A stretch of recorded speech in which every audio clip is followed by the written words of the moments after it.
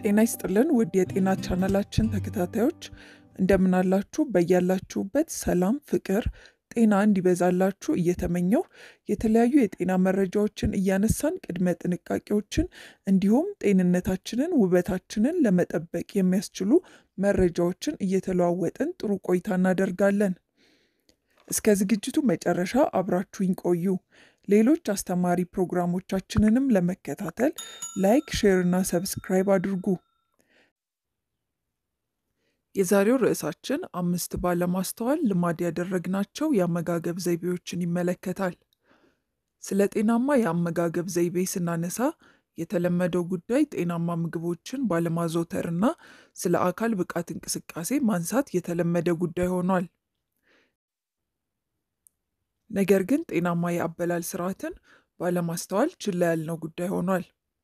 እስቲ እነዚህን አምስት የተለመዱ ምግብ ስንበላ የምንሰራቸውን ስህተቶች ይመልከቱና እርሶም ማስተካከል ያለቦትን ልማድ ያስተካክሉ። የአመጋገብ ስርዓቶን ማስተካከሎ የክብደቶን መጠን ለመቆጣጠርና መላውን የጤና ሁኔታውን ለማሻሻል ይረዳዎታል። ስህተት አምስት ቶሎ ቶሎ መብላት። ቶሎ ቶሎ ሲመገቡ በቶሎ የረሃብ ስሜቶን ለማጥፋት ይረዳዎታል። ነገር ግን የሚያስፈልገውን የምግብ መጠን ከመውሰድ አንጻር ግን ያሳስታል። ቶሎ ቶሎ የሚበሉ ሰዎች ከሚያስፈልጋቸው የምግብ መጠን አልፈው ከልክ በላይ ለመብላት ይጋለጣሉ።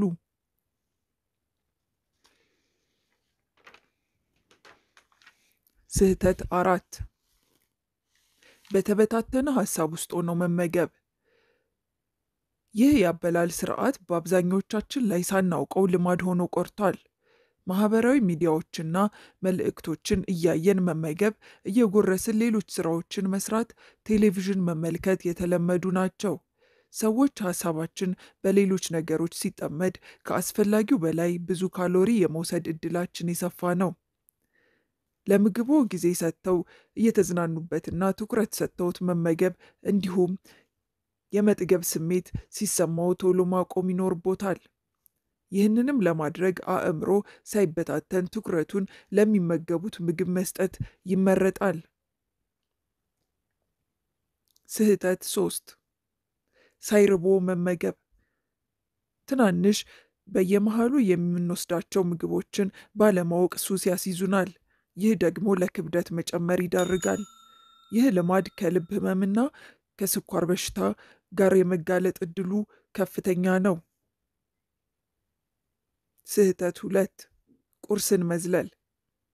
ቁርስ የቀን እንቅስቃሴያችንን በንቃት እንድንከታተል የሚረዳን ዋነኛው የጥሩ ቀን መጀመሪያ ነው። ፕሮቲኖች፣ ፋይበር፣ ቫይታሚኖችን ከጥራጥሬ አስተዋጽኦች መመገብ የቀኑን የመጀመሪያውን ጤናማ አመጋገብ የምንጀምርበት ነው። ቁርስ መመገብ በቀጣዩ የቀኑ ሰዓታችን ላይ ቶሎ ረሃብ እንዳይሰማዎ ያደርጎታል። ቁርስ መመገብ ክብደት መቀነስ ለሚሹ ሰዎች ወሳኝ ነው። ስህተት አንድ የታሸጉ ምግቦችን መመገብ። የታሸጉ ምግቦች ጤናማ እንዳልሆኑ ማወቅ ይኖርቦታል።